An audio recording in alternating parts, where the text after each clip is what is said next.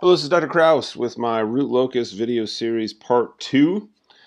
Um, one of the things that gets said often when talking about root locus is that the branches of the root locus will start at the open loop poles and end at the open loop zeros, uh, parentheses, or go off to infinity.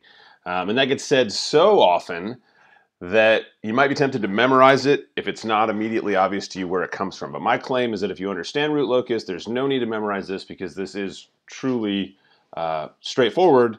Again, once you understand where it comes from. Keep in mind that we always have this block diagram where we've reformulated into our gain k, that's going to vary from 0 to infinity, times everything else in the feed forward loop. And I'm assuming unity feedback, although you can reformulate if you had to.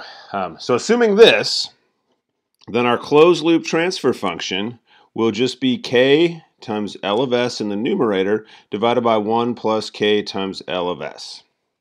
And so the key thing to keep in mind is that we're a root locus is nothing more than a graphical solution to the characteristic equation. When we say characteristic equation, we mean take the denominator of a transfer function and set it equal to 0 so that the roots of the characteristic equation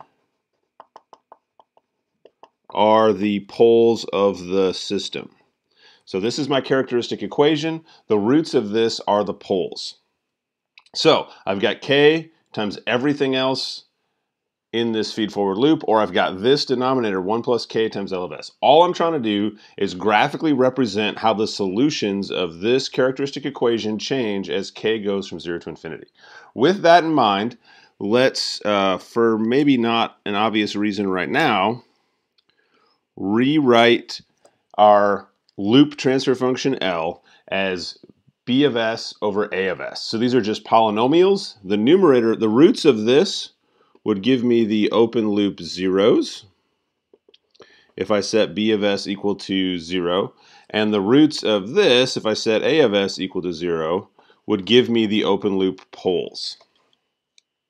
So L of s is b of s over a of s. If I substitute that back into our characteristic equation, uh, this would seem relatively trivial and perhaps not obviously beneficial yet. I would have that form. Now, what happens if I take this form and I multiply both sides of the equation by a of s? So this a of s cancels with that, and I'm left with a of s plus k times b of s equal to 0. So this is my modified characteristic equation multiplying through by the denominator of L uh, to get into this form. Now, hopefully it is obvious that if I set k equal to 0, then I'm just left with a of s plus 0 times b of s, or just a of s equal to 0. If that's the case, sorry, I made my k look like a phi instead of a crossed 0. This is a 0. Ah, it's even worse. Sorry.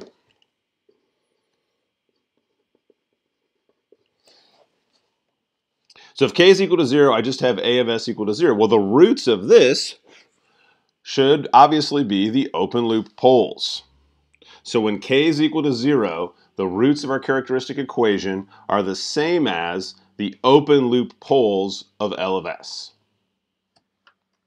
Okay, what happens in the opposite case when k gets very, very large? So we have this form.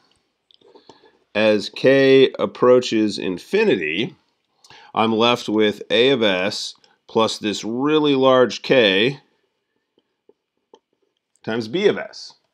Well, if that's the case, really large K times B makes this seem unimportant or very small by comparison. So this would be approximately the same as just really large K times B of S equal to zero.